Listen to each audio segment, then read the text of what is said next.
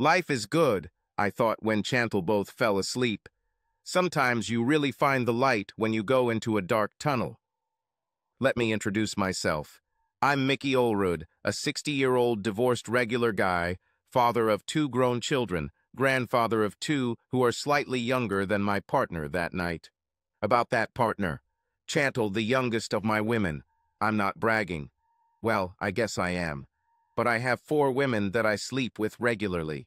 There's nothing serious with any of them, although I know at least two would like something serious, but it's just good no, great sex, no strings attached, almost every time I call and want a date, or they call me for the same purpose. I know it sounds ridiculously simple and casual, but that's how it is. And I owe it all to my cheating ex-wife, Tracy, for opening the door to this wonderful life. Fifteen years ago, I was a happily married man with one child graduating from college and one child in college. My beautiful wife, Tracy, and I were still getting used to this life without children, and at 45 we were enjoying life. Without kids around, we were free to fool around whenever we wanted, just like before kids started, and we never had to worry about Tracy being too loud.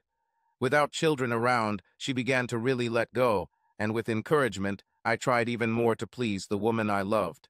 For the last 18 months or so, we've had to keep the windows closed and the air conditioner on in the house during the warmer months because we didn't want the neighbors to think I was killing her. Tracy and I met in college our sophomore year. We started dating in our third year and got married a few months after graduation. I honestly don't know how I managed to get her. She was stunning long blonde hair, blue eyes, about 5'5", 120 pounds with big firm breasts and a cute round ass. She was clearly above my level, but despite all her admirers in college, she chose me a skinny six-foot guy with a head of unruly hair who was studying to become an electrical engineer.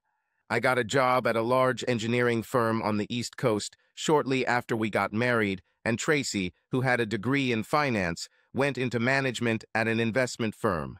We made good money and lived quite well. Lauren was born two years later, and then Molly was born another two years later. Since I made good money, we could afford Tracy to be a housewife, which she did until the children went to school. Then she returned to her old company, and with two incomes, we decided to move to a fairly large house in a fairly expensive area. Life is what it is, and you deal with it and move on. As the kids got older, life became more stressful with their sports, clubs, and everything else. I had my own things to do, like my golf group, and Tracy had her own things to do, like her theater group. I never kept an eye on her affairs too closely because I trusted her completely, just as I assume she trusted me completely because she never asked too many questions when I told her I was going to the bar for a couple after-work drinks, or playing golf with my golf group. How I found out Tracy was cheating on me was a cliche I caught her off guard by returning home a day early from a business trip. I don't go on business trips often, maybe three times a year, but for this trip, I had to be on the West Coast for the entire week. But things were completed a day faster than we expected, and my boss and I flew out of Los Angeles a day early, arriving in the city around 7 p.m. I decided to surprise Tracy, so I didn't tell her I was coming early. As far as I knew, Tracy didn't have any plans for the weekend, so I thought I'd catch her watching her favorite shows like NCIS or something. She didn't tell me that she had any plans when I left. Before we headed home, my boss Bob and I decided to stop at a place he knew near the airport for a couple of drinks. Our trip was a great success and was going to pay big dividends in the future, so he provided the treats. I didn't mind a couple of drinks. We took a table in the center of the bar and both ordered monkey shoulder on the rocks. I'd never been to this place before, but Bob had, and he said it was a quiet business, catering to those who wanted to succeed, but were careful not to be too pretentious. Monkey Shoulders pitch told me that they understand what good but not too noticeable tape is. Five minutes later, I saw Bob's eyes become the size of saucers as he looked at someone or something behind me. Not really wanting to turn around completely, I asked Bob to tell me what he was looking at. He quickly wiped the drool from the corner of his mouth and said, Damn it, Mick. This young guy just walked in with this hottie who's probably old enough to be his mother. I'm sure this guy is sleeping with her. God. With a description like that, I just had to turn and look. Bob wasn't exaggerating. She was built like a goddess. I hope she's not sleeping with that guy, I told Bob dryly, because that's my wife, Tracy. I slowly turned back in my chair as Bob literally spat out his drink. Nice move, Bob. Is she looking our way now? I asked. No, he replied, wiping his mouth with a napkin. You're not kidding, right? No. Damn, Mick. What are you going to do? I think you could go up there and break that guy's neck. I think in our state you can do that and get away with it and call it a lot of stress. I lift weights regularly, and at least on the surface, it looked like I could probably break the guy's neck. But being an engineer, I tend to analyze things carefully rather than react emotionally, and while a small part of me wanted to kill this guy before, a larger part of me wanted to shake my wife and find out what was going on and why. So I made Bob sit with me and drink while the two of them had a nice dinner. Bob could see everything that happened at their table and reported everything to me, from holding hands to an intimate kiss. When they finally got up to leave, Bob paid our bill, and I told him I'd be gone tomorrow before following the couple at a safe distance. Got it, he mumbled. They must have arrived at the bar together because Tracy got into his car, and they drove off, and I followed them in my car. They drove to a house that I guessed was his house in a pretty nice area. I remembered the address as I drove by and went to our house. It was 8.30 p.m. Tracy did not return home that night. Since she didn't expect me until around dinner time tomorrow, she didn't have to worry about getting home.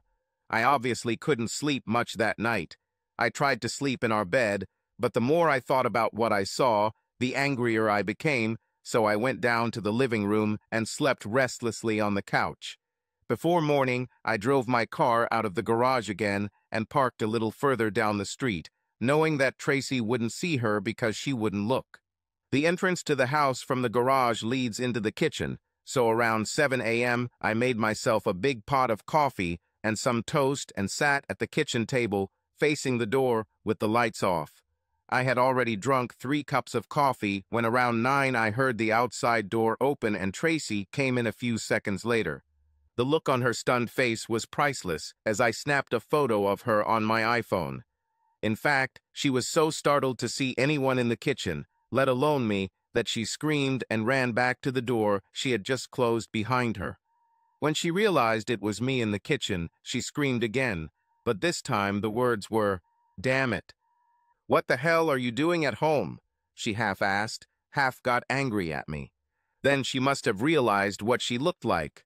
Her lipstick was almost wiped off, her makeup was smeared on her cheeks, and her hair was completely disheveled.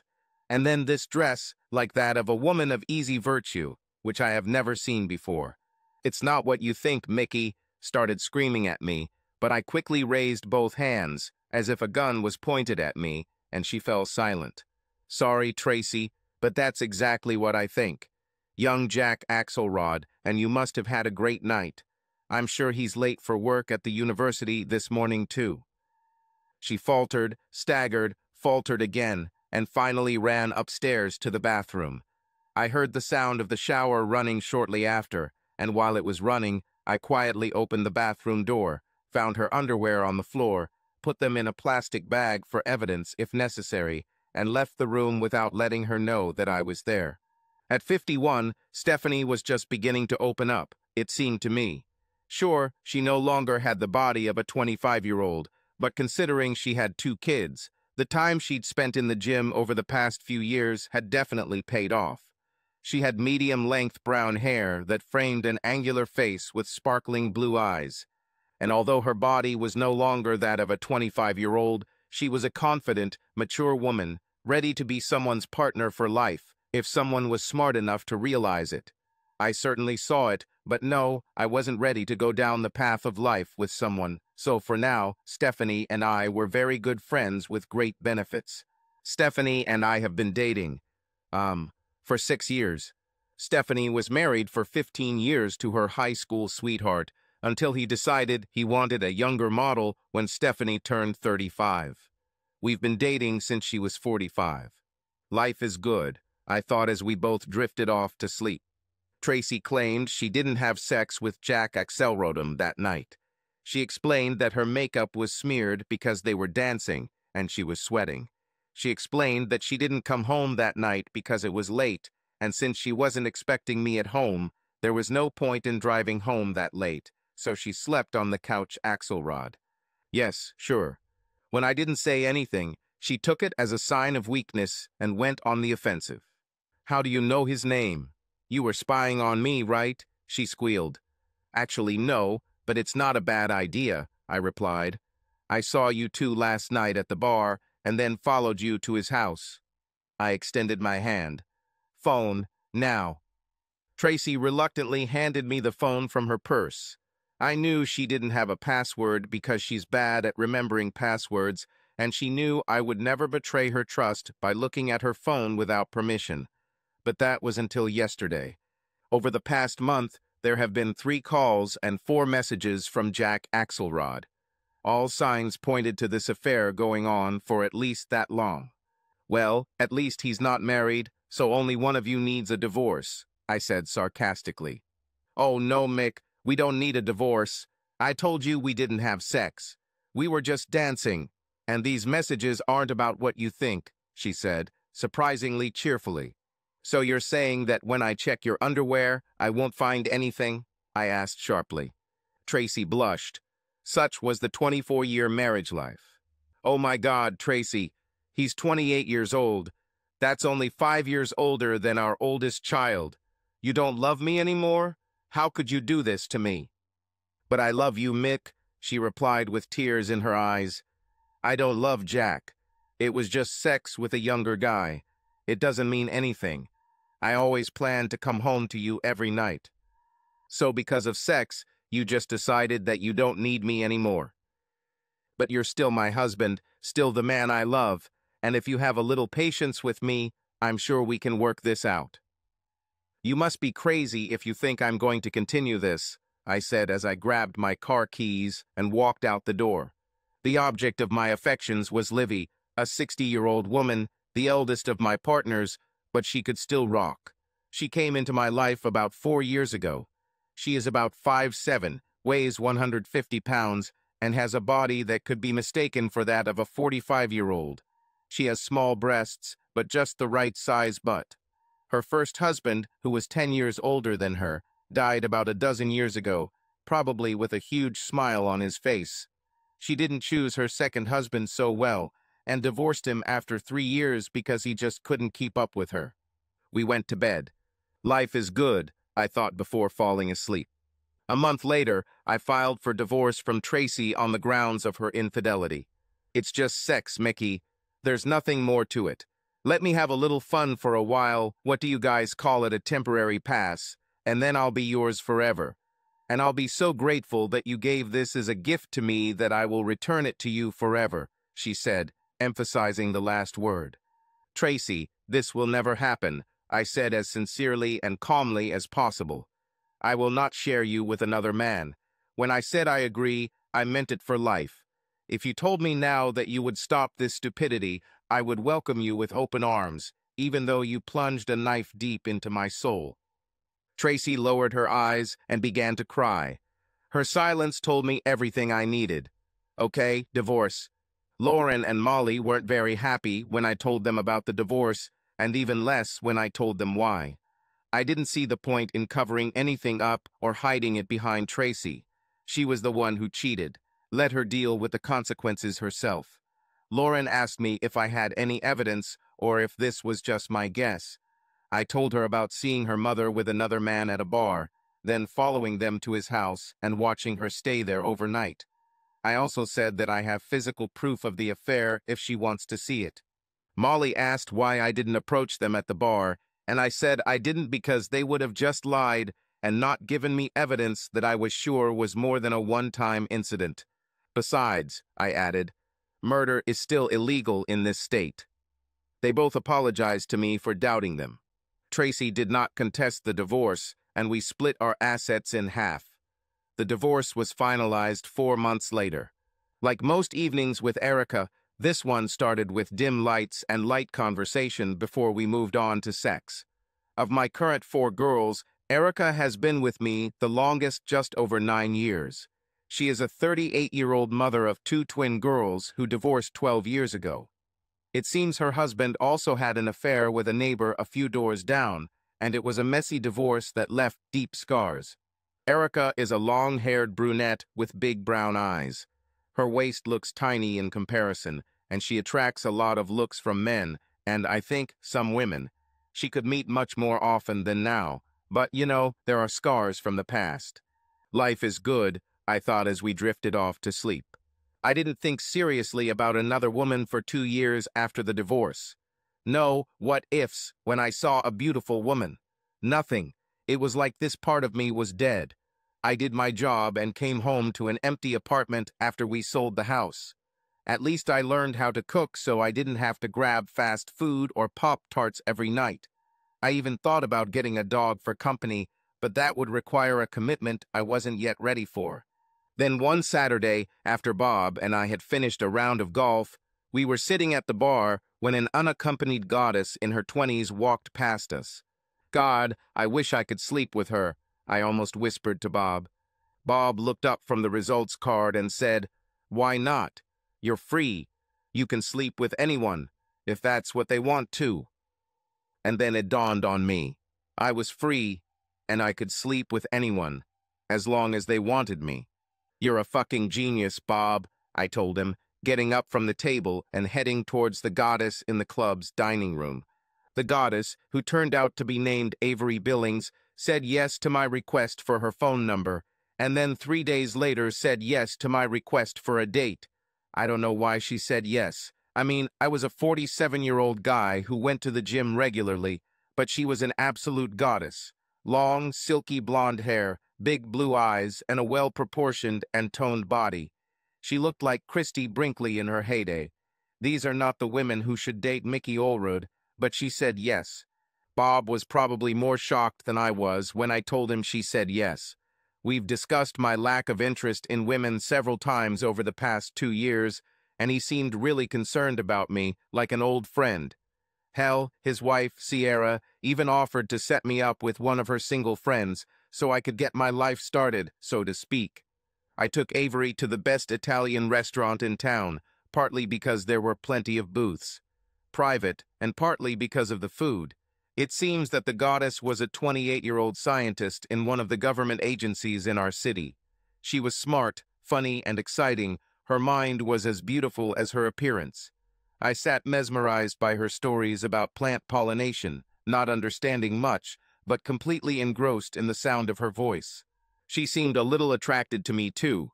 I tried to keep our conversation cheerful and intelligent and resisted the urge to drool over her. She noticed that I didn't wear rings like her and asked if I still lived with my mother or was divorced. I told her the truth, but kept the information minimal because I didn't want Tracy to interfere with my evening. We walked around the entertainment district of our city after dinner. After five minutes of walking, she took my hand, and I easily placed her small hand in mine. When I brought her home, she invited me for coffee, and I agreed. We sat in her kitchen chatting for about an hour before I decided I didn't want to overstay my welcome, so I stood up and said goodbye. She walked me to the door, and when I told her I had a wonderful evening, she stood on her tiptoes, walked over, and kissed me. That must mean I get a second date, mister, she said softly but clearly. I think I floated to the car, and I think my car floated on the way home that night. I don't remember how I got home. We didn't make love until our third date, and we did it at her apartment after an evening of eating, drinking, and dancing. I'm no wizard on the dance floor, but Avery wanted me to go. I think it was a kind of test. Hell, I'd walk through fire for this woman, so dancing wasn't a problem. We were on the dance floor almost the entire time. We were in the club, fast songs, slow songs, it doesn't matter. A couple of times a guy tried to intervene, but I stopped him the first time and Avery managed it the second time. At least for me, it felt like we were alone and no one else mattered. I think we both knew what would happen when we got back to her apartment. I have to admit, I was pretty excited. I haven't been with a woman since I divorced Tracy, and at 47, I'm no longer a boy. Damn it, Mickey, she said. I've never done this with anyone before. Well, apparently I'm not just anyone, I said smugly. After a few quiet minutes, Avery asked softly, So if you're so talented, how could your ex-wife leave you? Are you a serial killer or something? We hadn't discussed my marriage too much before, and although she did it as a joke, I felt like Avery wanted to know more about it. So I told her. I don't seem to be gifted below the belt, but her boyfriend was, I said bluntly. You never told me your ex-wife was an idiot, she replied. By the way, did I hear you correctly? Is your wife no longer with him? According to my children, they broke up after a year. I have to believe them. I don't communicate with her and don't follow her activities. That love started to fade the day I caught her cheating, and by now it may have only remained on a memory level. It was great while it lasted. Well, most of the time it lasted, but now all she means to me is the woman with whom I had two amazing daughters. See, that proves my point, she asked. Wait a minute, I said in shock. Do you think I should have waited for her to come back to me after her fun? You didn't listen to what I just said, dumbass. Her abandoning him after a short time is because there's more to a relationship than just good sex. That's what I said. But no, no one should wait for a woman to come into himself before he moves on. Some men can and do, some men cannot and will not. Although I have my own personal views on what is right and wrong, in general, it is a decision. Remains with the injured party.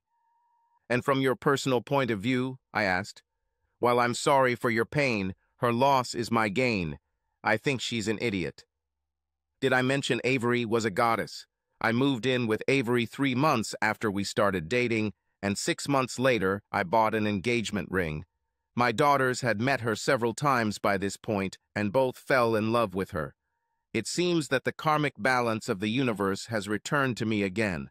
I was going to give her a ring at an intimate dinner I had planned for Saturday night. And then karma changed again. On Thursday afternoon, Avery called me at work to say that she would be a little late, but she had a big announcement and she was paying for dinner. We agreed to meet for dinner at 7 p.m. at a fancy restaurant, and when I got there, she was already sitting at a table with a guy about my age at another table across from her. They laughed and drank champagne. My first reaction when I saw them was anger, and I thought about turning around and leaving, but then I decided to walk up to the table, and if it was what I thought it was, this time I was going to beat the guy up. I told the woman at the counter which table I was going to, and she showed me to Avery's table. As soon as I approached, Avery saw me, jumped up, and practically ran into my arms. She kissed me deeply on the lips before introducing me. Mickey, this is Dr. Ko Ken Otane, director of Zeiss Enterprises, one of the leading scientific communities on the West Coast. He has just offered me a position on their team in San Diego. I will be working on plant-based research for cancer treatments. Dr. Otane stood up and we shook hands. I tried to look as happy as Avery, but deep down I knew this was the beginning of the end for us. This was Avery's dream, the major league of her profession. There was no way she would give this up to stay here with me, and if I wasn't ready and willing to pack up my life and go with her right now, it was right to let her go. The champagne flowed freely, and the evening was magnificent. Avery and Otane told me about every detail of her job, the high salary and incredible benefits. The salary was even more than the $250,000 that I earned. Everything sounded great, but after an hour I was tired of waiting for another catch. When do you start? I finally asked. Avery turned pale when she heard the question, the first time I had seen such a reaction from her in our entire relationship. She had already made her decision without discussing it with me first. This told me everything I needed to know. She may have loved me even a lot, but not enough for me to influence her most important decisions. Obviously, my love for her ran deeper because in my pocket there was a ring that meant she would make decisions with me for the rest of our lives. But this ring will remain where it is. November 2nd. In a month, Avery answered, lifeless. I didn't say anything, just sat and looked at her until Otane, not understanding the situation, proposed a toast to the next Zeiss superstar. The three of us touched glasses, and Avery returned to the festive mood Otane had been in. The party was over for me, and I don't think I said another 50 words the entire evening. Avery was still on her high when we got home, and between her news and the champagne, she was ready for action.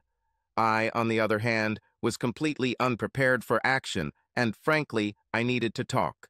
So this is how it ends, she finally said. Can't we at least discuss this first? That's exactly what we should do and could do, I replied. But you made the decision first. Now we will discuss this in the second stage, and there is no point in that. You could come with me to San Diego. A guy with your skills and intelligence could easily find a job and make big money in a short time. Big Western money, to be exact. Believe me, I thought about it all evening while you two were laughing. But it always came down to the fact that you made the decision for yourself, not us together. I'm number two in a respectable company, and someday I'll be number one. I've been working for this company for over 25 years, and this may be my dream job. But you never took that into account. I overestimated your feelings for me. I tapped the ring in my right trouser pocket. I didn't get it. Avery didn't know that I had been carrying her engagement ring with me for a week. The gesture was not for her. He was there for me. The apartment was quiet for several days, and we did not communicate. Finally, on the third night, after dinner, Avery came up to me and whispered, I'm sorry. I've been incredibly selfish. Can't we talk about this like adults? No, I answered simply. You have to do this become a superstar's eyes Otane. Light up the world. Don't leave anyone behind. I know it. You know it. We made love for the next few weeks until it really was the last time. Avery traveled to the West Coast several times, chose an apartment, and shipped her belongings and car there before leaving. Although my heart was breaking, I wanted her to know that she was loved. When her alarm rang in the morning, we both got up very carefully, but we both smiled. She had one more gift for me before she left. Mick, can you do me one more favor? She asked tenderly. A colleague. More precisely, a former colleague. She's not very lucky ever since she divorced her scoundrel husband several years ago. You can call her, invite her to dinner, and if everything works out, show her that you are a more desirable woman. I promise, I said, raising my right hand as if swearing an oath to office. She handed me a piece of paper and then I kissed Avery one last time. We both had tears in our eyes when we broke the hug. She carried her small bag to the waiting taxi. Avery's last gift turned out to be Katie. Alspaw, a 43-year-old red-haired woman with a toned body and thin stork legs, 5'10 in height. She had a 16-year-old son with whom she shared custody with her ex-husband, an ex-medium weight who sometimes beat her, while she put him in jail for it. She was married for 12 years and divorced for the last 10. Avery's last gift also happened to be the first of my girlfriends. Katie and I dated for six years, during which time my current lifestyle took shape. Since neither Katie nor I wanted to commit, we both agreed that we would date others. The system worked, although I must admit that for a while I became stupid and had too many women. Now, at 49 years old, this proved to be too much for me physically, and I quickly realized that four was a good number. I could meet all four over a two-week period so no one would feel forgotten. I also found, which is much easier to follow desires and preferences with only four women. Every now and then I lose a girlfriend to some other guy when they decide to be exclusive, and I'm glad about it because honestly I want all of my partners to be happy, I can't blame a woman for leaving me for someone else.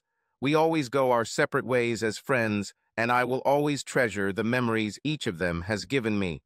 Who knows? Maybe someday I'll decide to be exclusive myself, and then... There is an old saying about revenge that goes something like, the best revenge is a life well lived. I never thought about it until a couple of years ago when I received a call from my youngest daughter, Molly. I maintain regular contact with my daughters and their growing families. I am very proud to be a grandfather, and they know about my relationship. In fact, over the years, they both became attached to several of my girls, and sometimes rooted for one of them. Hey, Dad, Mom wants you to call her, Molly said after the greetings.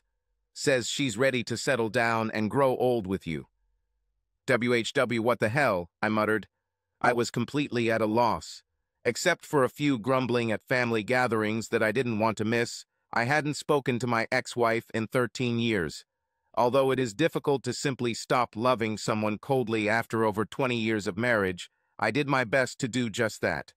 There were no casual conversations, no notes, nothing. I simply acted as if she no longer existed. What, crap gosh, is she talking about growing old together? Why does she torment me after 13 years?